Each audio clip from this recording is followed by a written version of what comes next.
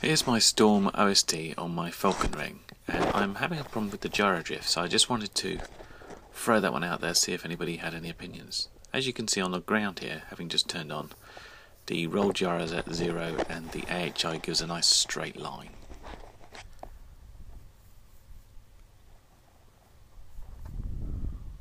So what I'm attempting to do, just to demonstrate it seems to be working, is just turning it on the roll axis and making sure the lines lined up and the uh, the roll indicator comes back to zero, which it seems to be fine here.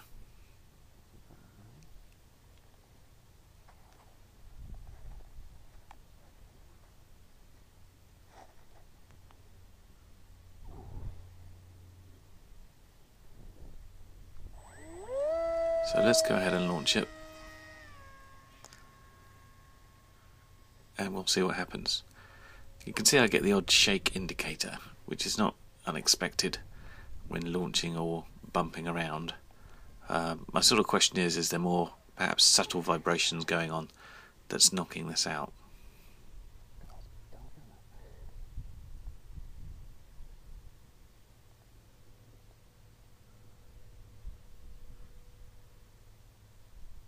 It seems to start off by being reasonably okay. So my first test is to switch into PA. Um, I pretty much go hands off here. And you can see there is a drift to the minus side of the roll. Now PA's got a course lock so it actually keeps it in a nice straight line but it actually seems to believe it's it's having to roll the plane over a little bit to actually keep it there. Where this becomes a worry is when I engage RTH.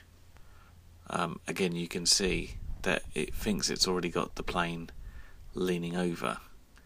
Uh, it's coming towards me, and when it goes past and gets to 100 meters, it should go into uh, sort of a tight loop to bring itself round again.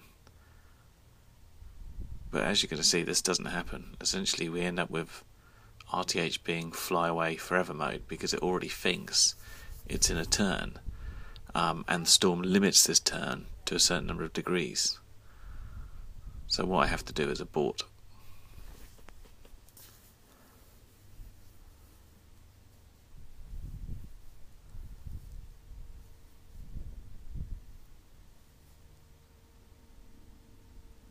So it's generally at about 10 or 15 degrees a lot more here.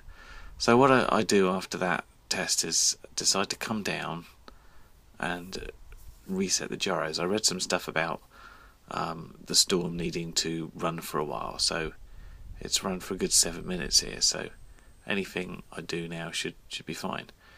Immediately when I land, you can see the roll gyro just seeming to recover. Again, leading me to think, is it some sort of vibration issue? is something throwing it off and it's not recovering um, in flight. Unfortunately, I turn up and, and pick the thing up before I have a chance to check this out. But you can see it's it's still recovering. It's dropping down. Um, but instead of waiting for that to happen, I go into the settings and I decide to reset the gyro and um, do the auto trim on the um, the gyro centers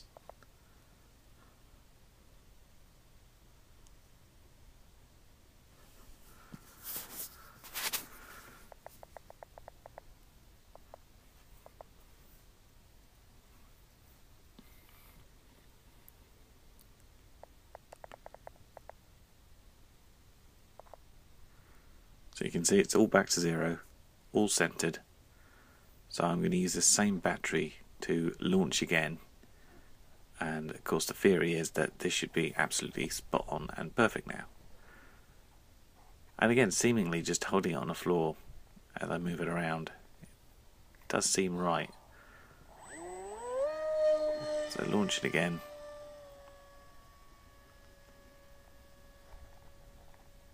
And for about the first couple of seconds, it's okay.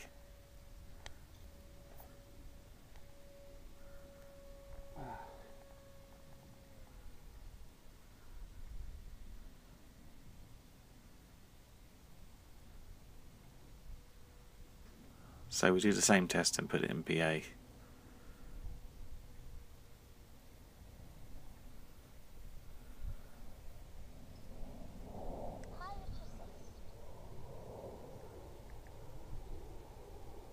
Again, we can see that it's out.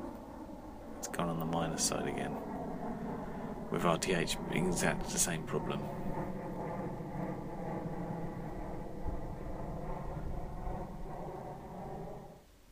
So, wondering if it was motor vibrations, I went up high and I had a good five minute glide. I'm in a glide here, you can see I'm pulling no amps. Um, I've also at this point turned off the AHI because it was pissing me off so much, but the roll gyro is still about 10 to 15 points out. And in that flight again, just to demonstrate what happens when we land.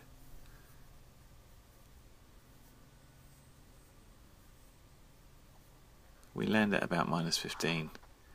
The instant we land, the roll gyro starts to recover again.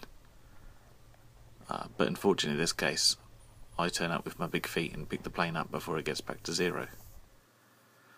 So that's it. I appreciate any insight anybody's ever had, or if they've had this problem before, see if I can fix mine. Thanks.